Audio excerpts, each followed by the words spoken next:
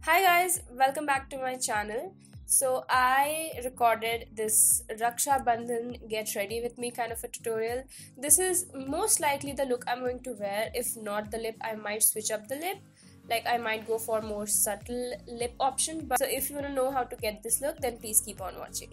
So I'm starting off with moisturizing my face. I've already moisturized my face with that Aryanveda cream and now I'm using two primers. This one, the one I'm using right now is Maybelline's Baby Skin and that is essentially for more smoothing effect and the other one which I used was uh, Lakme's Blur Perfect. Now that is like an overall brightening primer. Now you don't have to do this but since my skin needed uh, both the effects I mixed these two primers then as you can see I have acne marks going on and since those have turned quite pinkish so I used a green concealer and I just placed the concealer on the spots and then I'm blending it out with a small small fluffy brush essentially.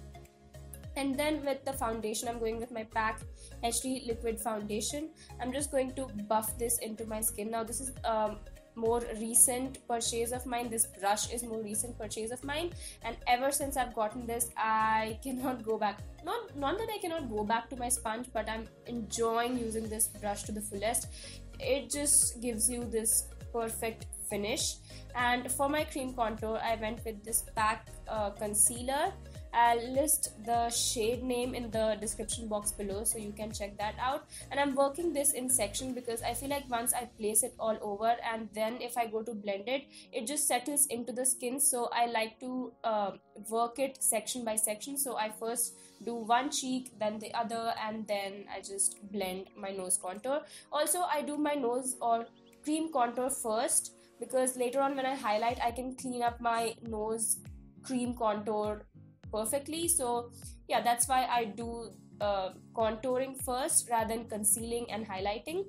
And then I'm going with my Maybelline Fit Me concealer underneath uh, like directly underneath my eyes for coverage and with my Glam Girls Cosmetics uh, concealing pen for highlighting. First I dotted the concealer and then I was like nah let me drag this all the way out and do extreme extreme highlight.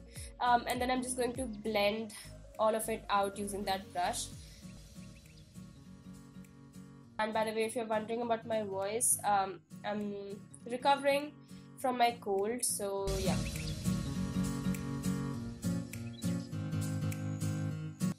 And then I'm just pressing everything, like everything contour, highlight, foundation, everything into my skin with this uh, blender by PAC. And then I'm going to cream highlight my face with this product. This is the uh, Maybelline's Duo uh, something. I'll list it i'll list everything in the description box by the way. So i'm just hitting it on the high highlights. Oh my god on the highest points of my face. You know where you generally highlight right? So yeah I, and i'm blending that all out with this sponge again. And then i'm just going to set everything because we are done with cream highlight cream contour. So i'm just setting everything with my maybelline uh, super fresh compact i think is the name. Um, yeah just setting my face uh, nothing to explain. Okay so now to set the cream contour I'm taking that uh, Makeup Revolution uh, highlight and contour palette. And with a cool tone cool tone wow with a cool toned um, shade I just placed it first. And now I'm blending it in with this more fluffy brush. Um, so yeah. And then to highlight even more like to highlight my under eyes even more I took that yellow powder and I'm just brushing not brushing really just dusting it. I'm not packing it just dusting it on underneath my eyes. And for my blush I used creamy cinnamon by Maybelline. Um, you guys know I don't use blush on a regular basis but this day I was feeling it. And now I'm setting not setting but misting everything so that everything just looks uh, perfect all together with uh, Glam Girls makeup fixer. And I'm just going to bounce my blender once all over my skin very gently. You don't want to do this extremely harsh because then you might move around the products so um, yeah I'm just doing that. And then moving on to my eyebrows I'm using my uh, Maybelline's fashion uh, fashion brow. Again name will be in the description box. Um, so yeah I'm just I'm just filling in my brows. I'm not doing anything crazy crazy. And I wanted to keep my eyes very simple because I knew I'm going with a very bold lip. So I just used two colors this one is the first color which I used on my crease now this is not extremely warm but at the same time it is warm enough. So I used this uh, shadow from PAC Cosmetics. I'll list it in the uh, description box. And then I used a very um, I don't know what do you call this shade but a very skin toned shimmery shade on my eyelid. I placed it with my fingers. And then I'm just creating small little wing know small small little little. Um, I didn't go all out crazy and bold. I just wanted a very feminine soft wing if that was possible. Um, so yeah I just did that.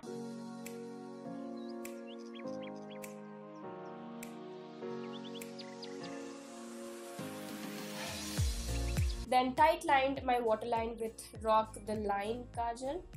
Rock name will be in the description. I'm sorry i just cannot recall all the names. And then i'm just using mascara. This is by glam girls. I like this because when you don't want um, a lot of volume and you want length this mascara is to go for. Love this mascara for this kind of a look because you can actually see the mascara like the lengthening effect of the mascara in a simplistic eye look. And now I chose to go with a very bold pink color because I did have that color in my kurti as well. Um, so yeah I just used this uh, shade by Miss Claire soft matte lip cream. I'll list the product name in the description again. And that's the finished look. I wanted to show you guys how it looks in natural lighting as well. So yeah, don't mind the background but um, I hope you guys enjoyed it and I'll see you guys in my next video. Bye